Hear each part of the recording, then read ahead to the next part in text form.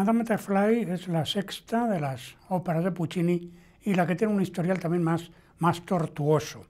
La obra se estrenó en febrero, el 17 de febrero de 1904, en el Teatro de la Scala de Milán, y fue el escándalo y el fracaso más grande que tuvo Puccini en toda su vida. Entonces él mismo la retiró al día siguiente, no, no se volvieron a hacer más, más interpretaciones y trabajó, la modificó y volvió a hacerse una segunda versión con algunas transformaciones, pero tampoco trascendentales, pero algunas supresiones importantes. Y esa se estrenó tres meses más tarde en Brescia, en el Teatro Grande de Brescia, concretamente el 28 de mayo de 1904. También era la misma versión en, en dos actos. Bueno, pues en Brescia tuvo un éxito arrollador que desde entonces no ha cesado de, de aumentar. Pero eh, Puccini no se quedó absolutamente satisfecho con ello y todavía introdujo nuevas modificaciones, nuevos cortes, quitó del orden de 200 y pico compases, pero luego en cambio metió algunos fragmentos musicales nuevos,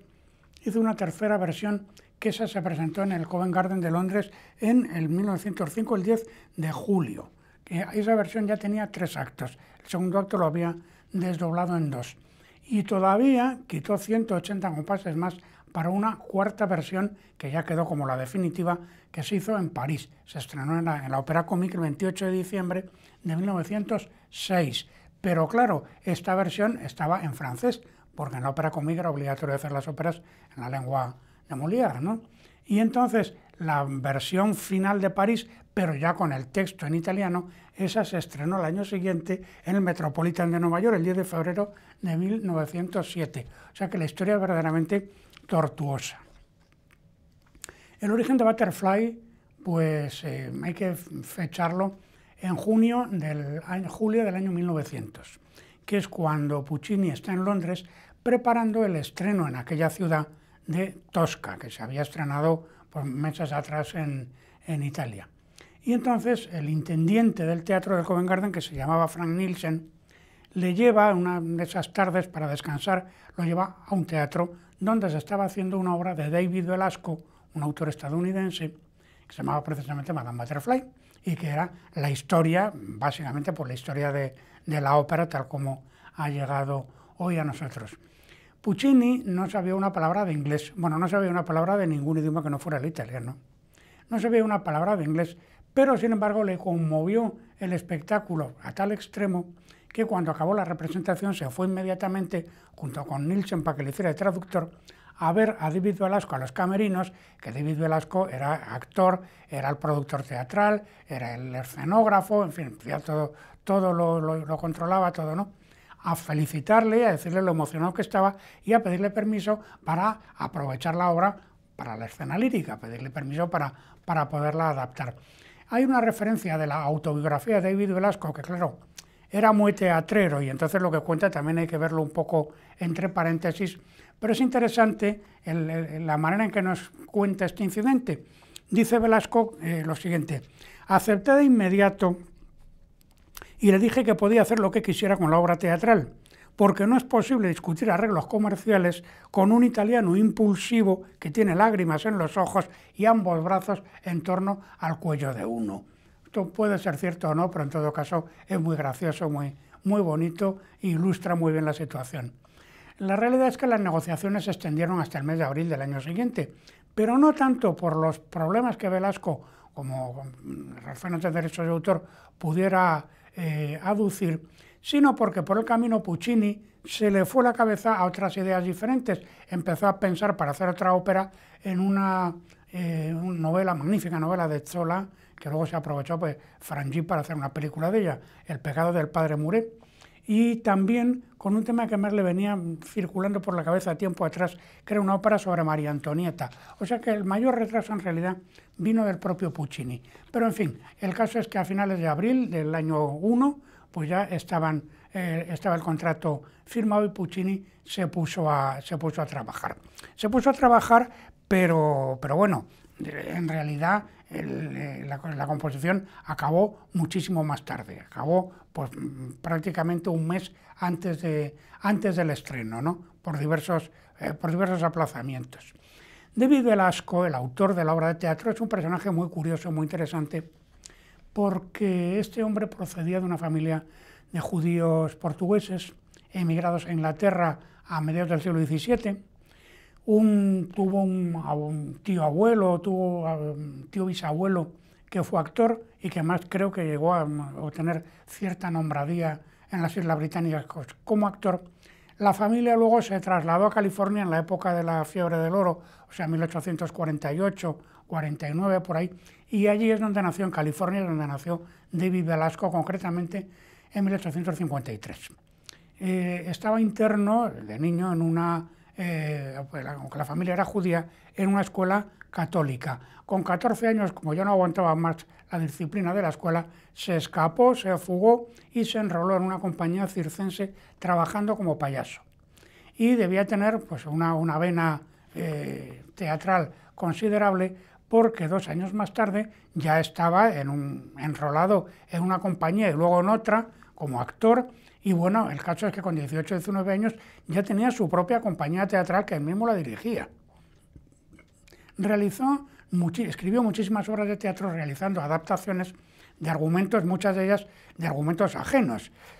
en muchos casos sin haber pedido permiso y lo, cual le acarreó por pues, muchos pleitos, pero fue una figura importantísima del teatro americano, del teatro popular americano. Y desde luego lo que podríamos decir es que fue un abanderado del, realismo, podríamos decir. Se ha dicho siempre que fue un, precursor pues, pues no sé, de, los, de, los, de, los, realistas rusos, por ejemplo, como Stanislavski, o también de Max Reinhardt. Y es famoso que precisamente en una representación de una obra de Zola, la, la taberna, pues dos mujeres que se peleaban se tenían que tirar vino a la cara la una a la otra, la una a la otra, y lo hizo con, bueno, con agua teñida, pero que parecía vino de verdad. Era la primera vez que en un teatro estadounidense los personajes realmente se mojaban, ¿no? Entonces esto, claro, fue muy llamativo y fue también un apóstol de la luminotecnia. Con la naciente luz eléctrica hizo, vamos, realizó un trabajo escenográfico, esto le importaba muchísimo el tema de la, de la luz desde el punto de vista de la verosimilitud.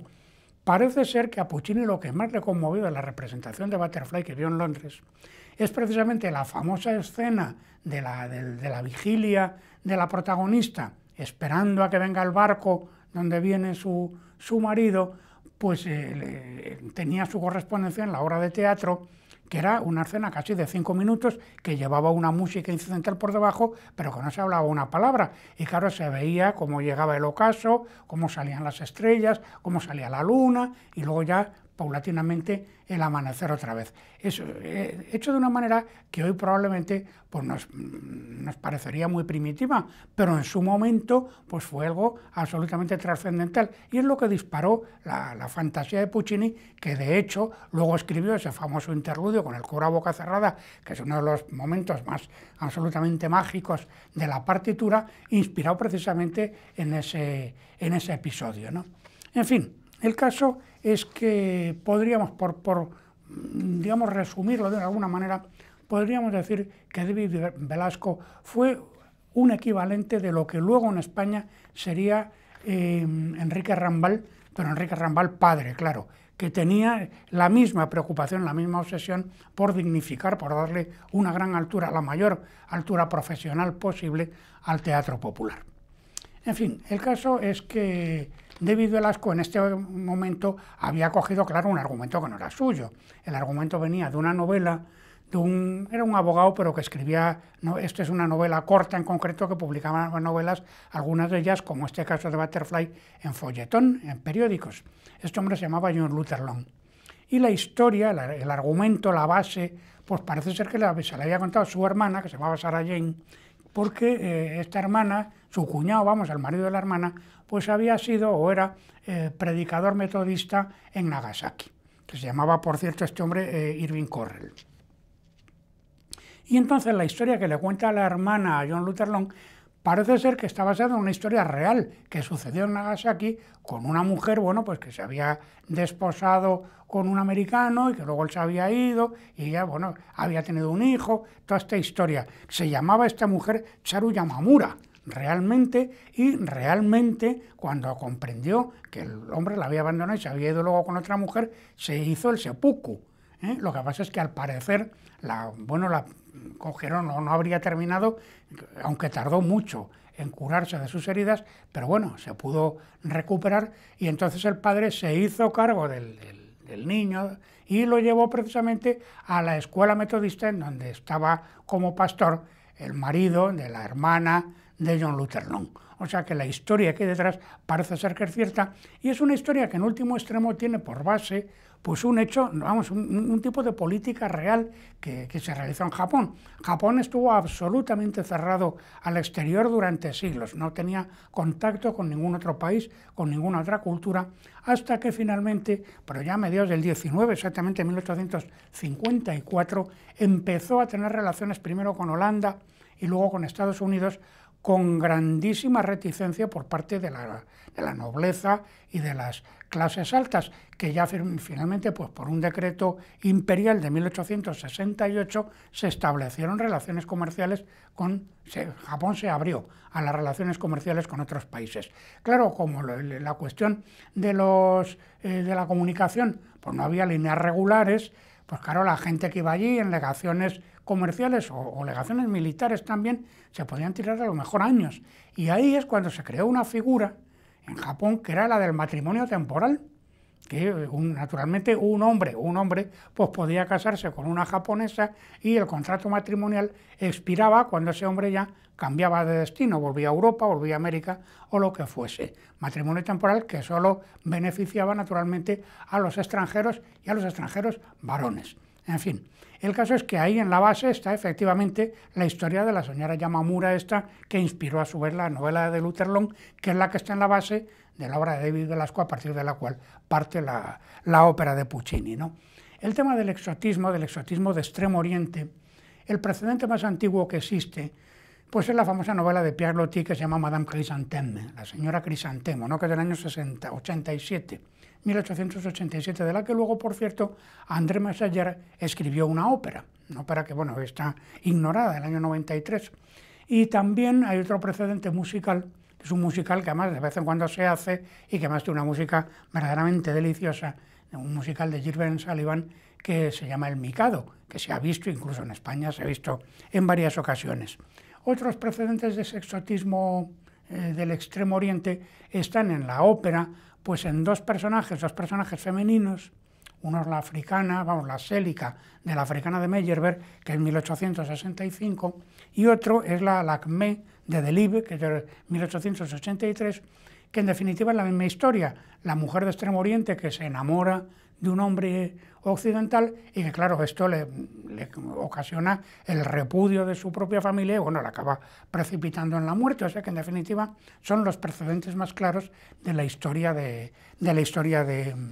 eh, de Madame Butterfly, que por cierto el nombre de Butterfly viene a cuenta de un historiador de, de Nagasaki precisamente, se llamaba Kencho Watanabe, que cuenta que las geisas en una determinada época llevaban precisamente una mariposa bordada en el kimono. Y entonces de ahí el nombre de la protagonista, Madame Butterfly, Madame Mariposa, la, señora Mariposa. Entonces, eh, la última, Madame Butterfly la última colaboración de Puccini con dos grandes libretistas que se llamaban Luigi Lica y Giuseppe Giacosa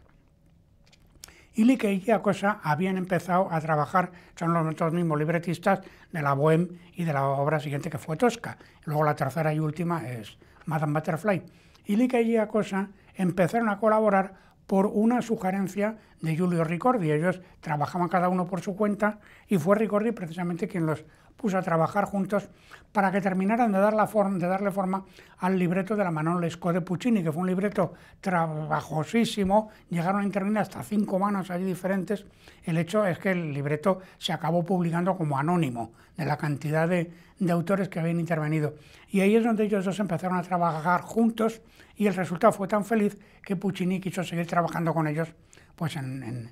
dos óperas más. La tercera sería precisamente la Butterfly. Luigi Lica era un año mayor que Puccini, era un hombre que, bueno, eh, había sido eh, amigo de Carducci, era republicano y había sido libretista. Eh, fue libretista de algunas óperas muy conocidas, por ejemplo, Andrés Chenier, que el libreto es verdaderamente excelente, el libreto de Giordano, la Iris de Mascagni, la Wally de Catalani, esas son, digamos, las tres más conocidas. Y Giacosa, que era 10 años mayor que Ilica, Giuseppe Giacosa, este era sobre todo hombre de teatro había escrito varias obras de teatro, fue catedrático de literatura y fue profesor de dramaturgia en, Milán, en el Conservatorio de Milán. Y bueno, su primera obra de éxito se llamaba La partida de ajedrez y algunas de sus obras de teatro a estas alturas todavía de vez en cuando se sigue representando en Italia, porque Tristi Amori, la obra más conocida y en la que ha sobrevivido más tiempo. Entonces, eh, tenían el trabajo mm, perfectamente dividido y Lica realizaba toda la dramaturgia, escribía los diálogos, construía, digamos, las situaciones dramáticas y Giacosa las ponía en verso. El, texto al final, quien lo versificaba era Giacosa, que efectivamente el libreto de Butterfly y el de las otras dos óperas que hicieron juntos está muy elegantemente versificado. Es un tipo de escritura que, bueno, hoy puede resultar un tanto anticuado, pero está escrito con una grandísima elegancia. Entonces la cuestión es que Giacosa se murió en 1906 y Puccini ya no quiso continuar la colaboración con Ilica porque el viejo tema aquel de María Antonieta, bueno, esto fue un trabajo complicadísimo que al final no llegó a nada y ya Puccini decidió abandonar la colaboración con Ilica, se fue por otros derroteros. La siguiente ópera suya, Madame Butterfly, es también precisamente sobre una ópera de una obra de, de David Velasco que es La Fanchula del West, pero esto ya con otros libretistas diferentes. Puccini acabó la composición, como decíamos antes, muy tarde, el 27 de diciembre de 1903 teniendo en cuenta que la obra se estrenaba en, el 17 de febrero de 1904, pues iban verdaderamente muy justitos. Puccini era un hombre que trabajaba con bastante lentitud porque además era muy detallista y bueno, era muy exquisito, ¿no? Y hasta que no tenía una cosa perfectamente perfilada, no pasaba a la siguiente, componía muy despacio. Pero es que además tuvo un problema por medio grave y fue un grave accidente de, de automóvil, uno de los primeros automóviles que hubo en Italia, por cierto, que se despeñó por un, por un terraplén, exactamente el 25 de febrero de 1903, y Puccini, bueno, pues se le rompió una pierna por varios sitios, la convalecencia fue dolorosísima y mm, larguísima, eh, estuvo deprimidísimo mucho tiempo porque no soportaba la idea de tener que moverse en silla de ruedas, lo pasó muy mal. Claro, la composición, eh, hubo un momento que hasta mm, decidió dejar, abandonar completamente la composición, pero en fin, poco a poco se empezó a, reponer y ya retomó la, la, composición otra vez y claro, acabó pues casi, casi, casi, casi para el estreno, ¿no? El estreno, ya digo, en, en febrero. Dirigía Cleofonte Campanini, eh, dirigía la escena Tito Ricordi, el hijo de Giulio Ricordi, y la primera Chio Chosan, pues era una grandísima cantante, se llamaba Rosina Storchio, que tenía 32 años y que había sido la misma que había estrenado el personaje de Muset en la, la museta de la, de la Bohème unos años atrás. Y bueno, Giovanni Cenatello, el tenor, pues fue el primer, el primer Pinkerton, que este hombre había, por cierto, empezado de barítono. Y luego cuando dejó ya de cantar, ya muchos años más tarde, es cuando fundó por el que hoy es uno de los más grandes atractivos musicales del norte de Italia, que es el famoso Festival de la Arena de Verona. Pues lo fundó precisamente él. El caso es que unos días antes del estreno, los tres autores le enviaron una tarjeta postal que se conserva todavía en el Museo de la Escala, a, Rosina Storchio, en que le escribían, muy poéticamente le decían lo siguiente, eh, querida Butterfly, nos vemos obligados a hacerla morir en escena, pero usted, con su arte profundo y exquisito, hará vivir eternamente nuestra ópera. Bueno, la cuestión fue, y no fue así, porque, como he dicho, fue un escandalazo espantoso el estreno, Puccini retiró la obra de cartel al día siguiente y la Storchio, indignada, dijo que ya no volvería a cantar esa ópera nunca más. Pero luego, unos meses más tarde, se enroló en una compañía con Toscanini que fueron a Argentina y eso en América, vamos, hicieron las Américas, que se decía entonces. Y efectivamente estrenó en el, en, en el Teatro Colón de Buenos Aires estrenó la, Butterfly, concretamente el 2 de julio de, ese mismo año, de 1904, con un exitazo descomunal y era la primera versión, la que había fracasado en, la que había fracasado en, en, Milán, precisamente. En fin, sobre este tema del fracaso y del escándalo del estreno, Giulio Ricordi, el editor y el padre de Tito Ricordi, que era el que había dirigido la obra escénicamente, en una revista que la editaba la propia editorial suya, se llamaba Música y Musicisti, eh, escribe, bueno, entre saco algunas frases porque el texto es mucho más largo, describe el estreno en estos términos. Gritos, gruñidos, carcajadas, risitas, eso resume la recepción de la nueva ópera del maestro Puccini. Tras este pandemonium en cuyo transcurso no fue posible escuchar prácticamente nada, el público salió del teatro muy complacido. Nunca había visto yo tantas caras felices y jubilosas, todos satisfechos como si hubieran participado en un triunfo general. Y concluye ya líneas más abajo, el espectáculo ofrecido en la sala parecía tan bien organizado como el del escenario, ya que comenzó exactamente al iniciarse la obra. Bueno, esto otros eh, biógrafos como Moscow Karner, que es el más importante estudioso y biógrafo de la obra de Puccini, lo han puesto un poquito en duda, en el sentido de que parece acreditado que el primer acto hubo los suficientes aplausos como para que hubiera tres salidas a escena de los autores, de los eh, intérpretes, perdón, incluso del propio Puccini, que iba con un bastón ya para entonces. De hecho, se había quedado cojo del pie izquierdo, la pierna izquierda, para el resto de su vida. Cuando de verdad empezó el programa fue con el segundo acto, que el segundo acto, claro, era muchísimo más largo de lo que el público de la época estaba acostumbrado a, soportar y parece que ahí efectivamente es cuando empezó el, pandemonium que dice Ricordi. Eh, Ricordi, claro, da a entender que había reventadores organizados y probablemente no estuviera fuera de, fuera de lógica porque Puccini se había conseguido ganar la animadversión de muchos de sus colegas. Primero porque era un señor que iba, estaba completamente, su vida la llevaba completamente al margen de los mentideros filarmónicos habituales. No se trataba con nadie más que con los amigos que él tenía. Segundo, pues era un hombre que le había ido pisando argumentos a, otros colegas. El caso de Bohem es famoso, porque claro, resulta que León Cavallo está haciendo una Bohem y entonces va Puccini compone otra Bohem y claro, la de, la de León Cavallo, esa ha pasado mejor vida para el resto, vamos. Que, sin ir más lejos, posteriormente con Tosca, Alberto Franchetti, otro compositor importante, estaba pensando comprar los derechos para Tosca y fue Puccini quien le convenció, pero además le costó lo suyo convencerle de que Tosca no se podía hacer para ópera, porque era un melodrama, un dramón terrible, y cuando lo tenía convencido y había renunciado a hacer Tosca, entonces va Puccini y compone Tosca además tuvo, vamos,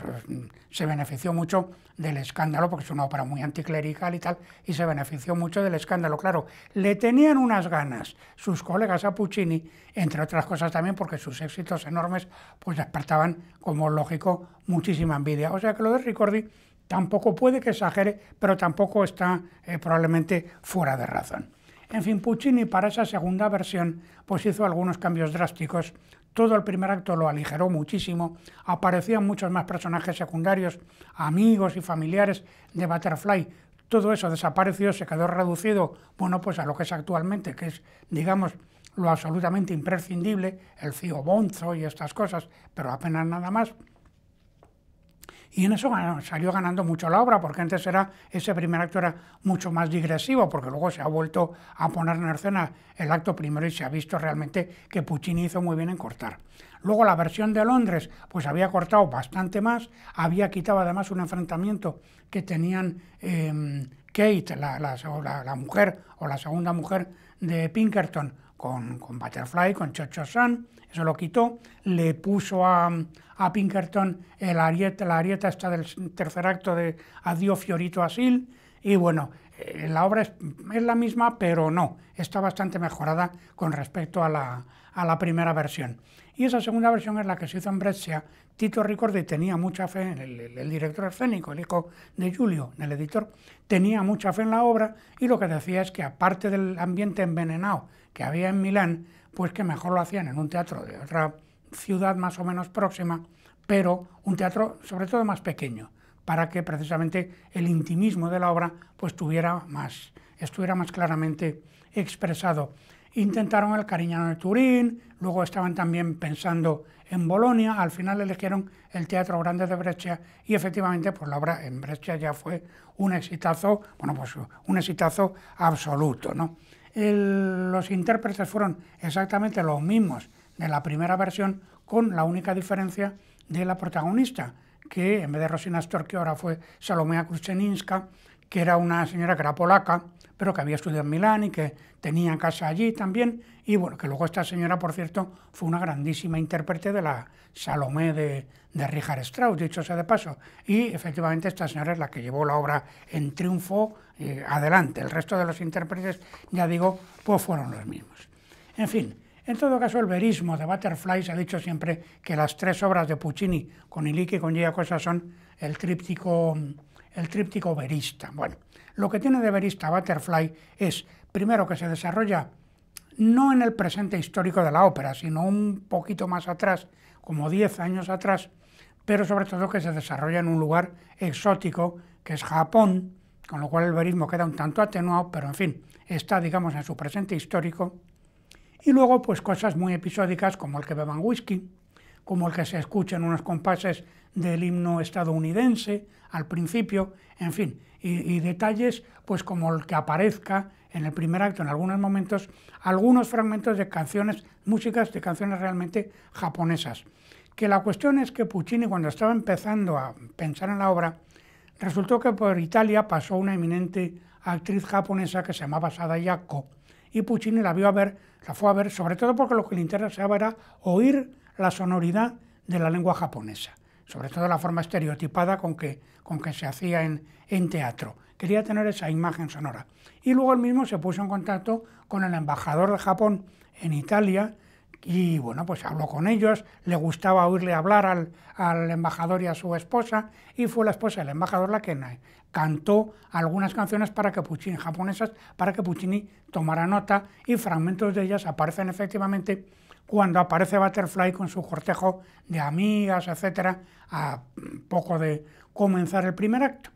Pero, eh, por lo demás, la obra lo que demuestra es de una sutileza y de una inventiva en la elaboración musical, musicodramática, mejor dicho, absolutamente fascinantes. El tema de Butterfly se escucha cuando ella aparece, es un tema que está, es una melodía descendente, que cada nota va precedida de un mordente, que es esa misma nota una octava alta. Entonces, ese, ese juego de mordentes va diseñando un tema y este tema está orquestado muy exquisitamente con un flautín, una flauta, glockenspiel, arpa, es una sonoridad muy etérea, muy aguda,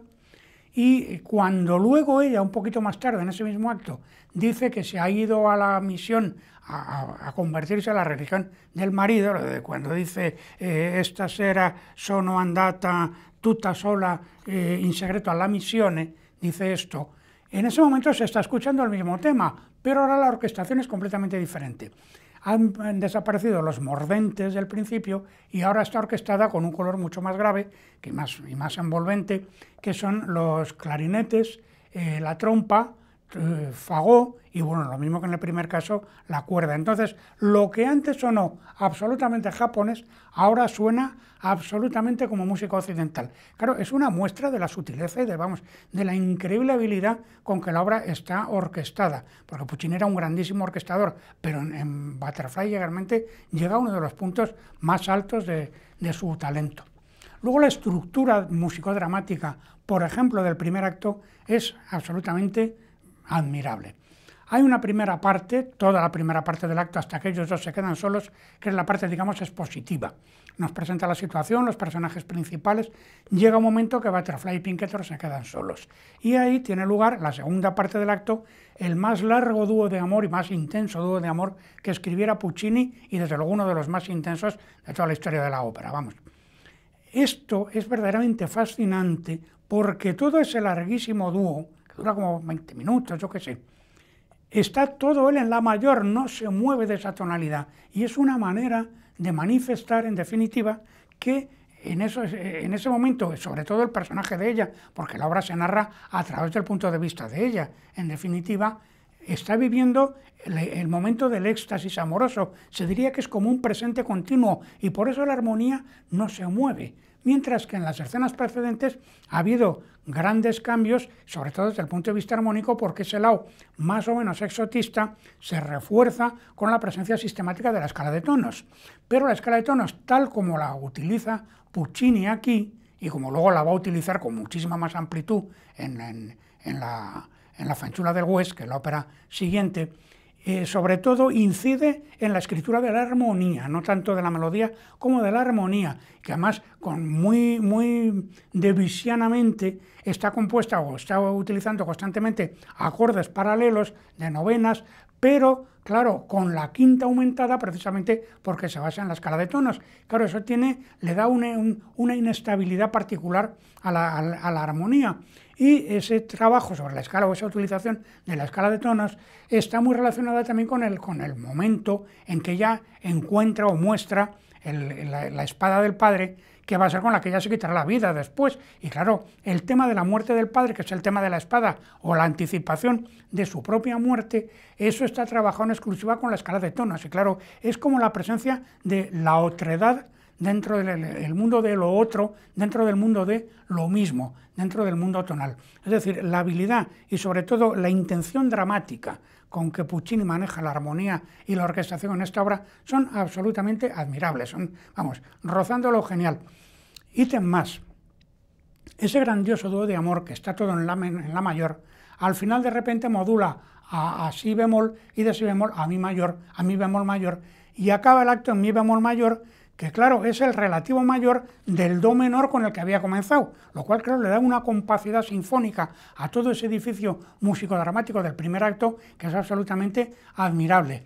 Pero es que luego en el segundo acto, cuando ella presente al hijo, sepamos que tiene un hijo, y presente al hijo y le diga, le canta eso de que la tua madre dobrá prender timbracho, eso está en la bemol mayor, la tonalidad del hijo es la bemol mayor. Claro, si pensamos que el dúo de amor y el primer acto ha acabado en mi bemol, que es la dominante de la bemol, nos está diciendo Puccini con la música, con la música, que efectivamente ese niño es el hijo del amor, literalmente. Literalmente. Es una cosa de una sutileza y de una fuerza dramática cuando, cuando vemos esto absolutamente arrebatadora. Entonces, eh, la cuestión es que cuando luego Sharpless en ese mismo segundo acto, le da a entender que, el marido no va a volver y le diga esta famosa frase de que fareste Madame Butterfly si lei non potesse ritornar più mai.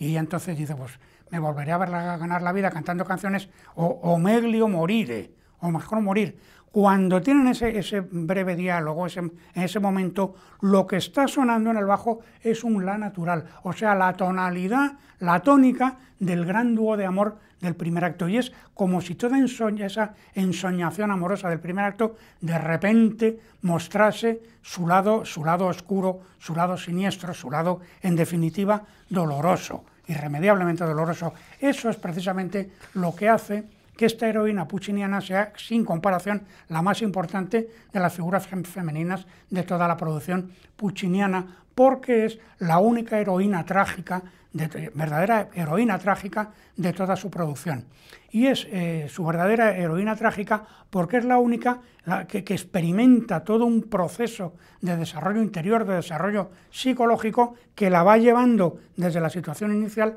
hasta, en definitiva, el enfrentarse definitivamente con su destino, que es el destino que ha heredado del padre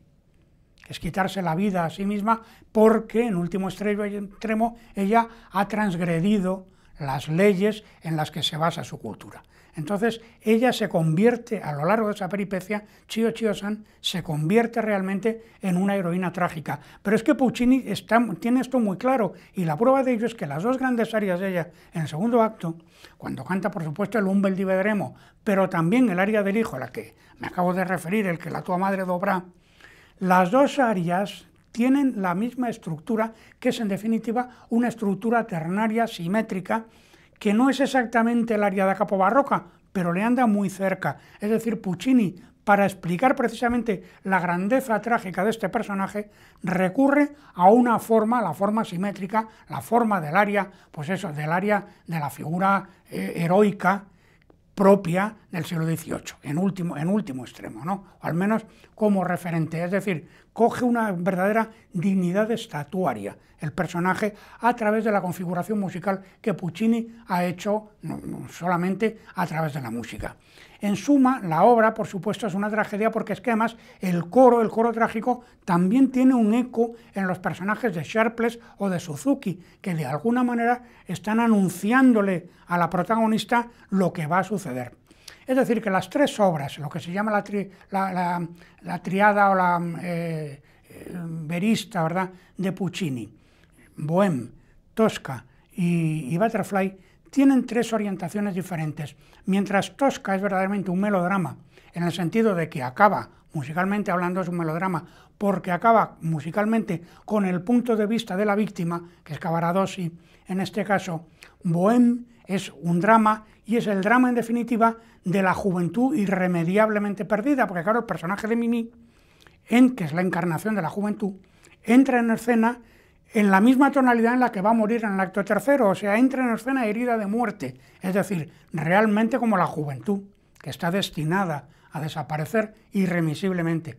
Y en el caso de, de Butterfly es realmente una tragedia y esa tragedia en definitiva es la de la destrucción de los ideales juveniles cuando chocan frontal y brutalmente con la con, la realidad pétrea, ¿no? con, la, con la pétrea naturaleza de lo, de lo real. En definitiva, y más allá de este aspecto exotista de litografía en cuatricromía que, tiene, que aparentemente tiene Butterfly, es una obra que está hablando de algo muchísimo más profundo. Butterfly es, en suma, la tragedia de la adolescencia irremediablemente traicionada. Y por eso el personaje de Butterfly nos conmueve a todos tan profundamente, porque como en las grandes tragedias clásicas, en último extremo está hablando de la más profunda eh, aspecto eh, psíquico de cualquiera de todos nosotros. Esta producción se va a poder ver en todas las ciudades de España el próximo día 30 del mes de junio a través de grandes pantallas en espacios públicos en todas las ciudades españolas o, por supuesto, igualmente en directo a través de Facebook.